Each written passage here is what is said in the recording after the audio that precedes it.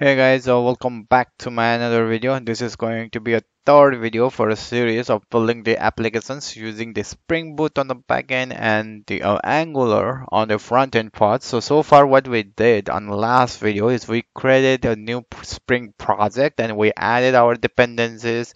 And of course, we can view our dependencies on pom.xml file. This is all our dependencies which we need, need for this project. JPA, uh, web, uh, DevTools, uh, MySQL connector, Lombok, or the starter test. I think we don't even need starter test to use it, but this is the dependencies what we added, and this is the what we we have in our file called the uh, Tox management applications, and this is the main file that is running. And currently, I'm running here on the localhost port 8080, which is uh, also defined here at the bottom. And of course, it's coming with the Tomcat server. Okay. So now if I run it, now it's running here and that's all we have it.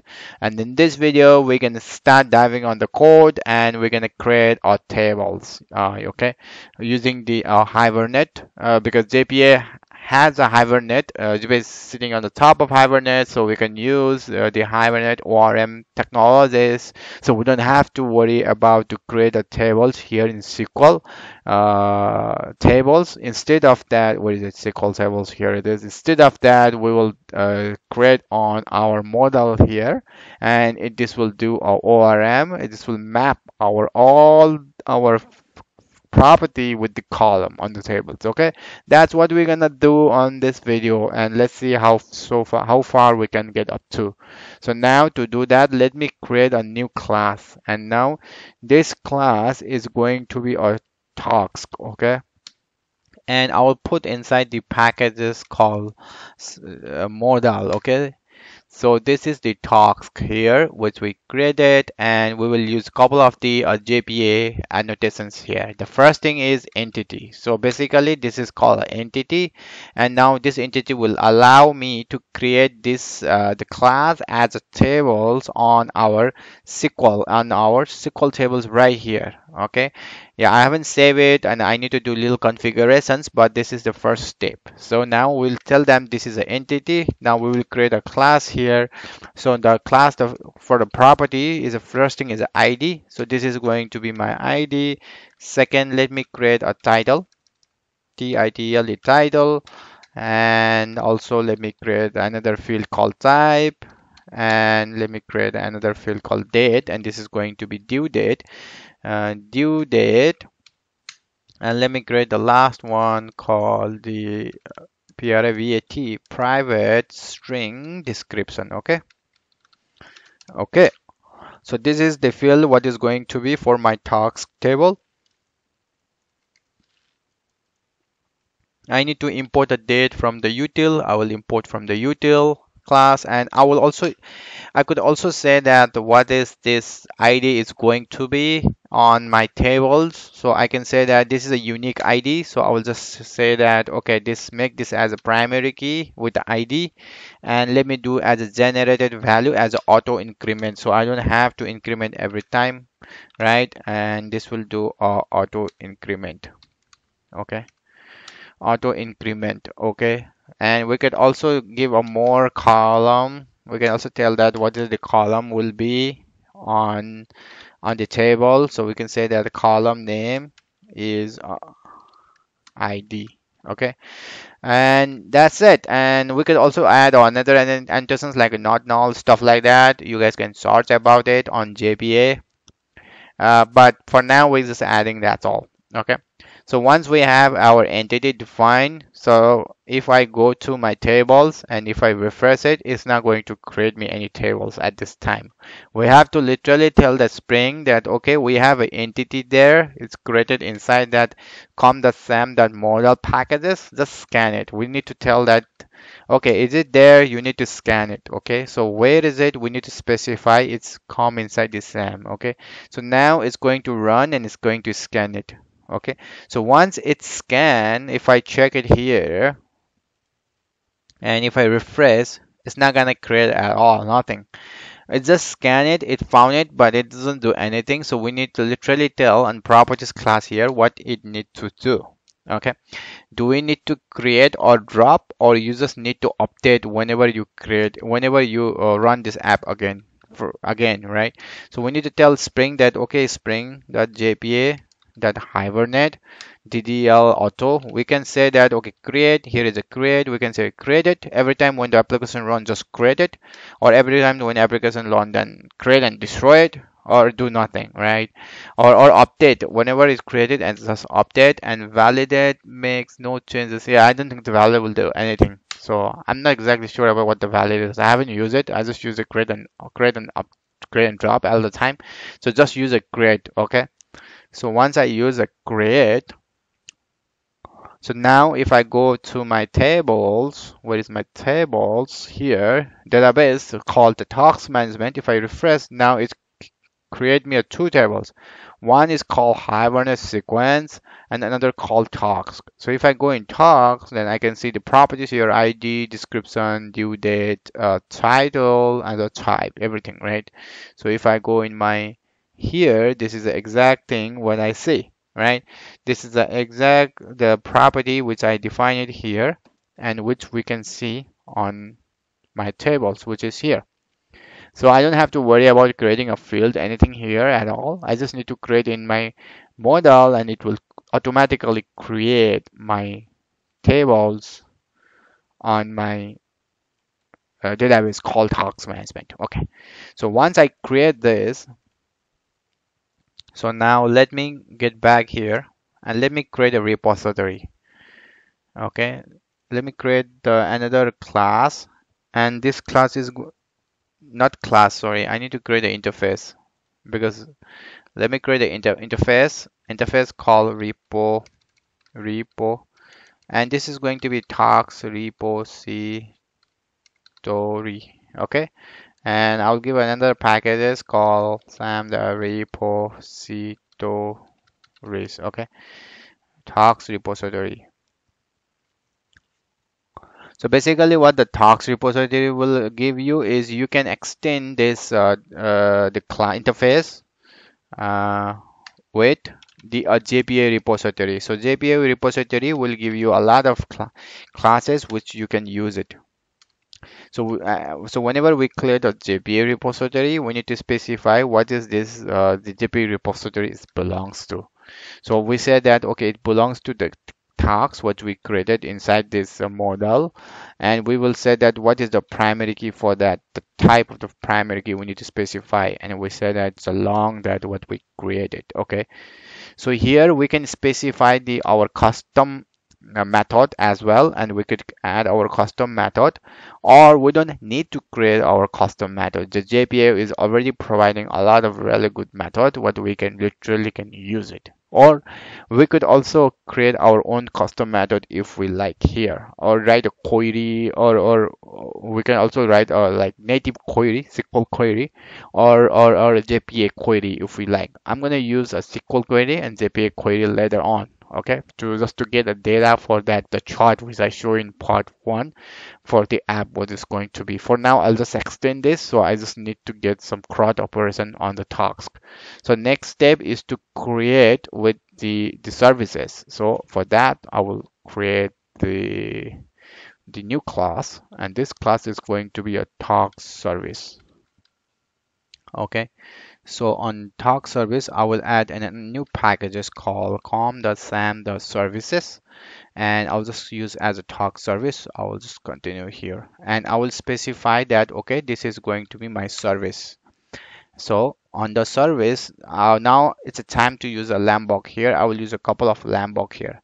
Uh, I think I forgot to use a Lombok on my model as well. Uh, I don't need to use a Lombok. Lombok will just help you to just to create a getter setter or, or, all the all the argument stuff like that. If I use something called all argument constructor, then you can see here on the side that it will add you a constructor by itself. You don't need to type it here at all. It will add, add it for you. So if I use something called data, right? Data then it's yep it's going to add all my getter setter everything here right? I don't need to create anything like uh, literally. I don't need to type it or create it. It's gonna add you here by easily okay? So uh, what I'm gonna do is I'm gonna use a data and all construct uh, all argument constructor and entity and I could also use on no argument constructor here. Uh, no argument constructor. So it will add me a no argument constructor here as well right. So I'll just leave it like this for now. You know what? I'm gonna put this no argument constructor all the way on the top and leave it like this for now. Okay? So this is my uh, the the model. And now I will go in services. And inside the services now what I really need is I need to use that repository which is extend the JPA repository. So I need to use this to get all the data. So now I need to create an instance for this. And I can auto I need to do actually the auto wire or the dependency injection right? So I don't have to initiate this all the time. I can just use it uh, this class uh, this instance of it so now I need to again I need to tell where it's coming from. It's coming from here and I can use a dependency injection as well. So to use a dependency injection again I will use all argument constructor. If I use all argument constructor it's going to create me this one. Or I can also create a constructor here right for task service and I can add like this the tax repository that does but anyway the Lombok will do a work. It will give me the dependent it will add a dependency injection on this one. So I could literally use this one so the first thing is to what I'm going to do is I'm going to create a public list class, uh, sorry, method, and it's going to return me a task, and I will I will get the, all my tasks here. Okay, the first thing. So it will return me a task repository. I will use this one here, and now it will give me a bunch of the method which I want to use it. I will use uh, something called get all uh, let me check. Uh, I will use something called find all yeah find all will give me the all my talks here okay? So I need to import of course the list from the util class and the talks from the model here okay? Now this this is ready here okay? Well, I will save this. This is ready. I can use this as a transactional. I don't need but I will just use as transactional. Uh, if I have multiple uh, if uh, transaction that is calling, then if any APIs fail, then the transaction will do a rollback on that one. But uh, I'll just use a transactional here as a read only, but true. Okay. So, so now once I use this, so now I could create a controller for these services. Okay. So now let me create another class uh, called the uh, controller okay? And this will be inside the sam dot controllers okay? So i'll just save this. So this is my controller. So on the controller i will specify that okay this is going to be my rest controller because spring will give you uh, multiple controllers here okay? Uh, not just controller or rest controller because i want to create an api so that's why i want to use a rest controller. So now here i will do a request mapping and this is the request mapping. It's, it will do every time at the first time. So it will go inside the uh, url API and v1 and after that it's going to call my all the method on the bottom which I will define it later on. So okay? So another one I want as uh, I want to yeah cross origin as well. This will helps you to tell that which is the front end uh, domain that I want to give access it. So I'll just say that everything for now. So of course I need this for later on for when I'm trying to connect with the APIs right? So now the first thing is I want a talk service. Uh, and the talk service I want instance of talk service. Uh, and I will use uh, of course the all argument constructor for dependency injection again and for that one now I will create a new method here called uh, get talks okay? So it will give me the talks list and this will get talks.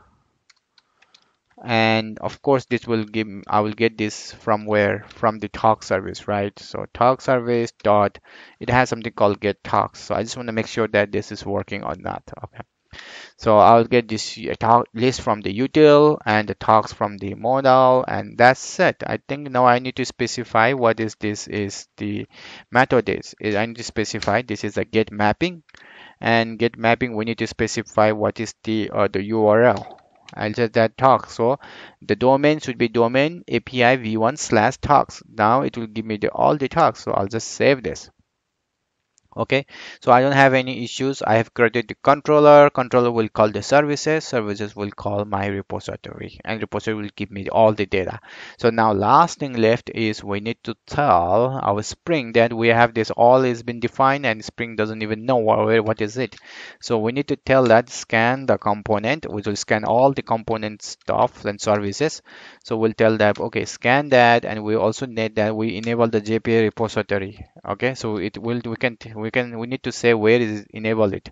So we say that we'll enable it inside this com that's sam in the repository here inside it.